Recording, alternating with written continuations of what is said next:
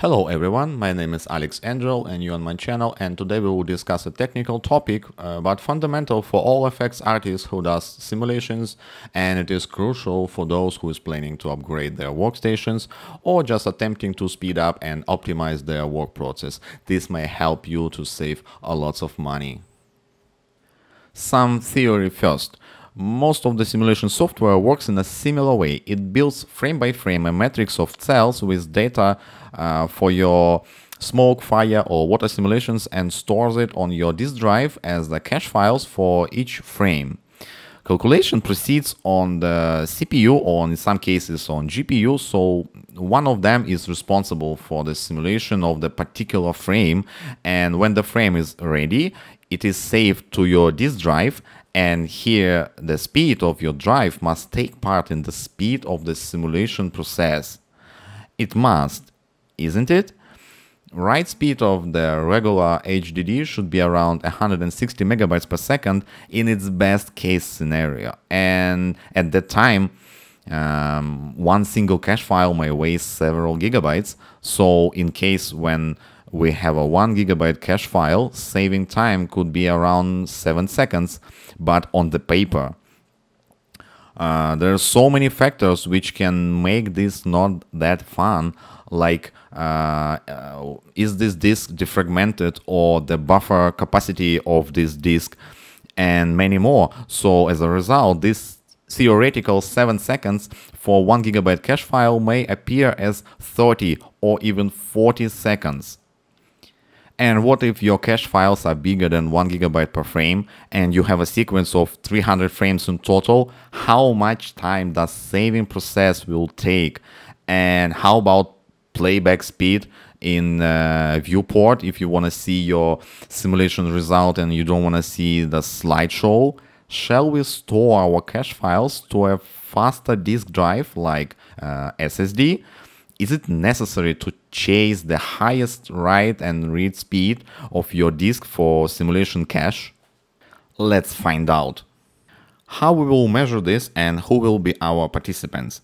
Well, first of all, I made a simple uh, scene, a simulation setup. Uh, it's uh, just a flames from surface with smoke emission, temperature, fuel. Actually, all channels are included. Take a note, uh, these channels enlarges our cache files significantly. A simple cache file with just two default channels on temperature and smoke gave me the cache file size of just a little bit higher than 300 uh, megabytes per frame and same frame with all channels included it was three times bigger more than one gigabyte per frame Actually, I did cache files as fat as possible on purpose for imitation of a serious effects project when uh, you really need these uh, channels.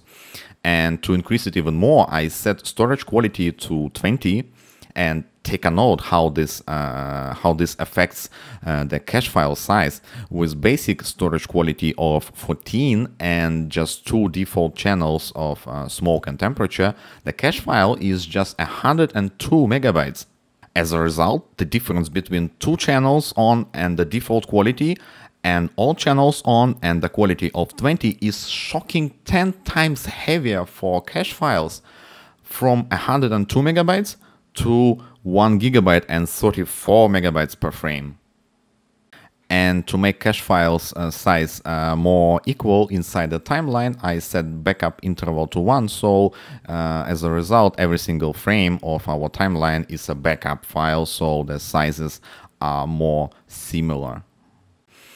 Our measurement will be this way.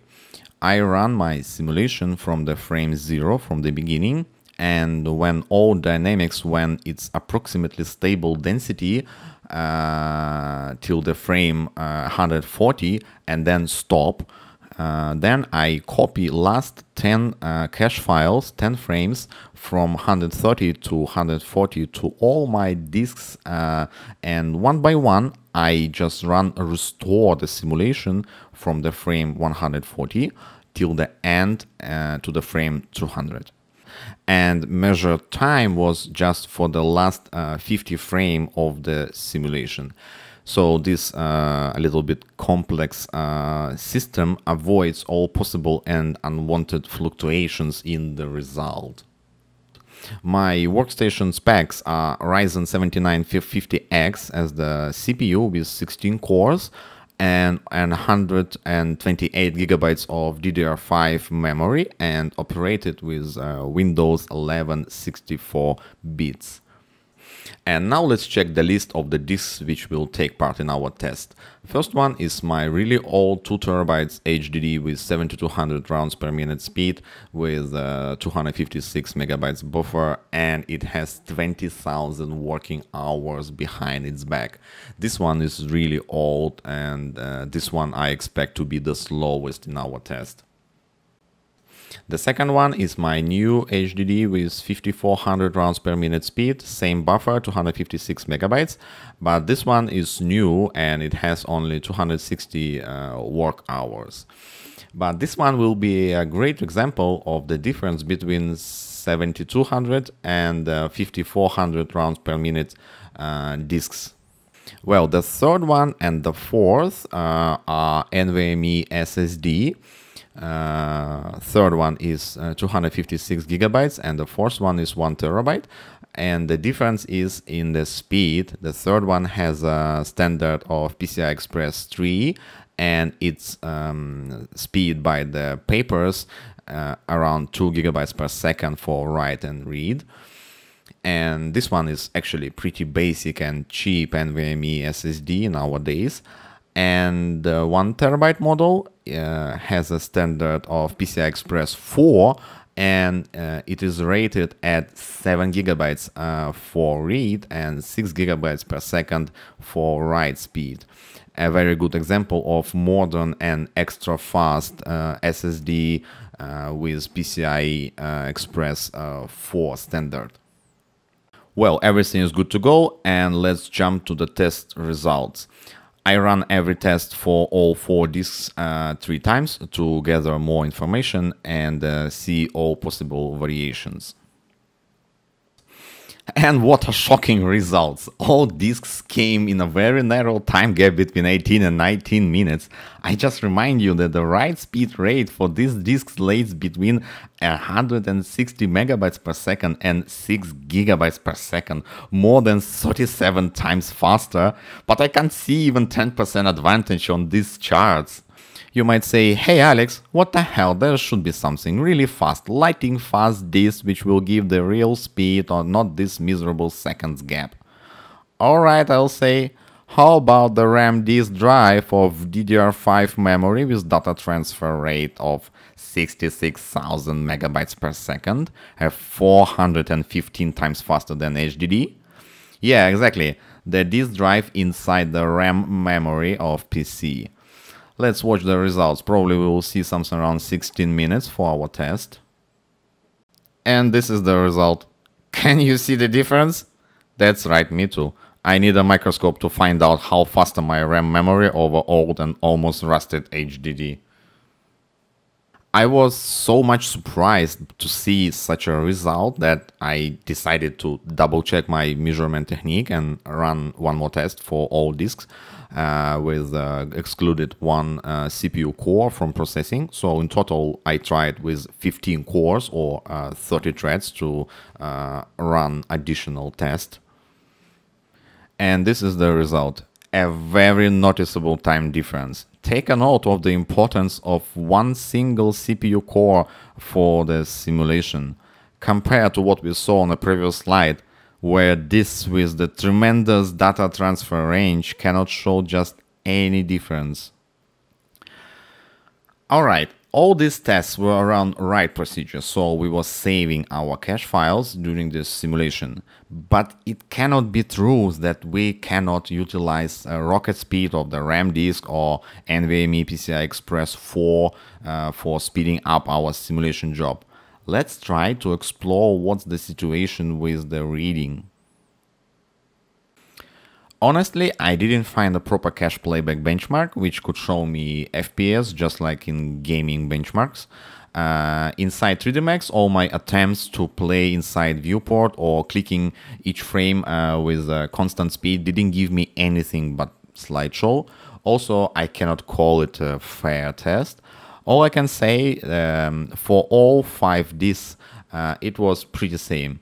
There's no magic that HDD was totally stuck in my viewport and RAM disk performed slow but at least 10 FPS. No, no, no, no. Uh, they all were same. Just um, with clicking next frame button, it was showing me maybe frame or two frames per second. There is another way how we can exam read, uh, and this is the make uh, preview tool inside 3D Max. It won't show us FPS though, but making a preview is also 100% frequently used tool uh, during the work uh, with FX scene, and it is 100% dependent on reading uh, the cache files. So the faster it can read the cache, the sooner we will get our preview sequence. So I will just run preview for all disks in this test and measure the time which was taken to build these images. And this is our results. Wow, finally we found at least something that could be called an advantage. Not a 37 times or 415 times, but strong 5 plus times difference. Yeah, keep in mind, that the thing that has 52 seconds result is 11 times faster than SSD PCI Express 4 which has just the same result 51 second. You can skip 1 second difference as a test threshold and the winner is 415 times faster than these two pieces of metal which got 5 minutes 48 seconds and 4 minutes 53 seconds test result. Just look at the charts. I guess if we will calculate the price for 1 gigabyte for the winners and HDD, the difference will be also shocking. One important thing to mention here that all read tests were made after a cold start of 3D Max. If uh, run preview right away the simulation, it will read unrealistically fast and probably from some kind of uh, cache in RAM memory and the utilization of the disk will stay at 0%, so I cannot call it a read from disk test. Just for fun, I tried to add one more participant disk to this test, and this is a USB 3 external HDD with a real data transfer around 40 to 50 megabytes per second. I'm not going to say that this is a good way to work with the FX scene, but you will see just a bigger picture and you will understand how really slow disk can affect the simulation speed. And as you see, it's not a tragedy at all. Honestly, before I was recording this video, I was expecting something like this uh, for my old HDD comparing to the uh, new one. Now you know the values of fast and expensive data storage devices for simulation job in 3D Max. Conclusions is on you, I just given information, but if you would ask my personal opinion, I would say a regular SSD with SATA connection or NVMe PCI Express 3 is more than enough for simulation and working with the scene with comfort and at the same time I cannot call HDD an outdated trash, still very useful and cheap. But what is really essential for the simulation speed is CPU, how many cores it has and what frequency it runs, this is crucial. Thanks for watching, let me know if you have anything to add from your own experience related to this topic and see you on my next video, bye bye.